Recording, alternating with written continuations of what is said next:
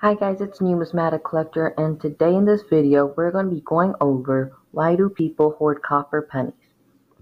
So the reason why people hoard copper pennies is because they believe when it becomes legal they will then be able to melt their copper pennies. Because the melt value of a copper penny is 2.2 cents and right now pennies are only worth 1 cent.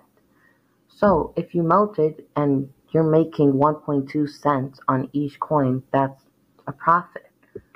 So, to go into more detail, if you have 100 copper pennies, you will actually make $2.20 if you melt them, and then $22 for 1,000 copper pennies, and $220 for 10,000 copper pennies. But right now you can't do that because it's illegal.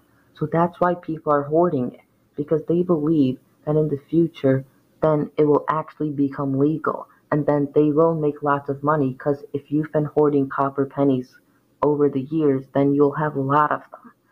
So if you're interested on where to get copper pennies you could just search through your change because copper pennies were made in 1982 and below so it's really easy to find them.